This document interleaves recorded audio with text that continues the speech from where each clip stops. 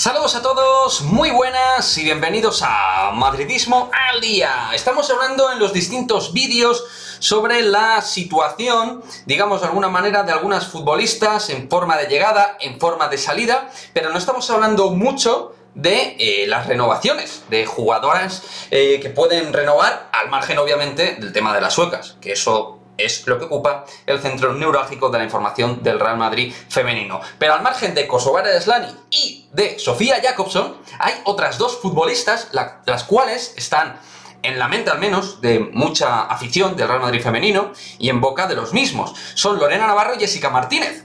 En el caso de Lorena, se da por hecho que va a renovar, o que ha renovado, o que ya está todo cerrado. Y en el caso de Jessica, se daba por hecho que mm, no iba a continuar pero parece que en las últimas horas estas informaciones irían en el sentido contrario, de que Jessica renovaría.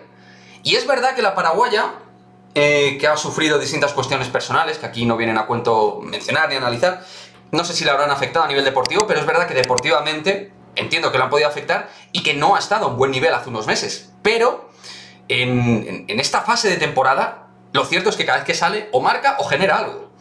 Y es una jugadora que al igual que Lorena Navarro, y por eso las pongo en el mismo paquete, en el mismo vídeo, en el mismo vídeo análisis, son dos futbolistas que no tienen mucho renombre, ni experiencia en el alto nivel, obviamente, pero sí que es verdad que a lo mejor como fichas eh, secundarias dentro del primer equipo pueden ser útiles. Además, en el caso de Jessica sería la delantera típica pura, de área, que lo remata todo y lo intenta marcar, porque es verdad que fuera del área es muy limitada y es una futbolista muy lenta, ¿para qué nos vamos a engañar?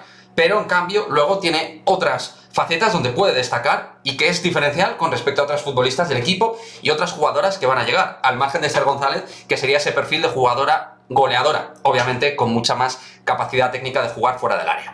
Y en el caso de Lorena, es una jugadora de semibanda, no claramente un extremo, pero sí confluye bastante en banda para entrar por dentro y con un gran olfato goleador. Con su 1.51 tiene una gran capacidad para moverse en el área y rematar aquello que le llega. Y es otra futbolista que además se espera bastante en el club por su juventud y su proyección, ya en categorías inferiores de la selección española. Por lo tanto, eh, yo empezaría a hacerme la idea no solo del tema de Lorena, sino también de que se puede renovar a Jessica. Eh, la cuestión es la idoneidad de estos movimientos y se pueden tapar otros. Yo creo que en el club no van a tapar grandes movimientos que se pensarán hacer son de hecho dos jugadoras que renuevan a la baja y que no van a tapar el presupuesto del club. Otra cuestión es si renueva o no finalmente Aslani o Sofía Jacobson, que son jugadoras evidentemente de otro perfil, de perfil estrella dentro del equipo. Y como os he comentado en vídeos anteriores, yo pienso que Aslani sí va a renovar y que Sofía Jacobson no. Esto es opinión, no información, más bien sensaciones.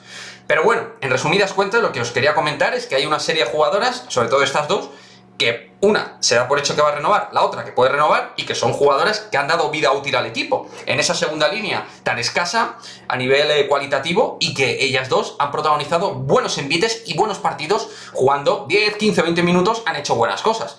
Así que sobre todo, además, si David Aznar continúa, que esto está por ver aún, pero sobre todo en el caso de que David continúe, yo diría que tienen muchas posibilidades de continuar, tanto Lorena Navarro, casi seguro al 100%, y alta probabilidad en el caso de la paraguaya Jessica Martínez.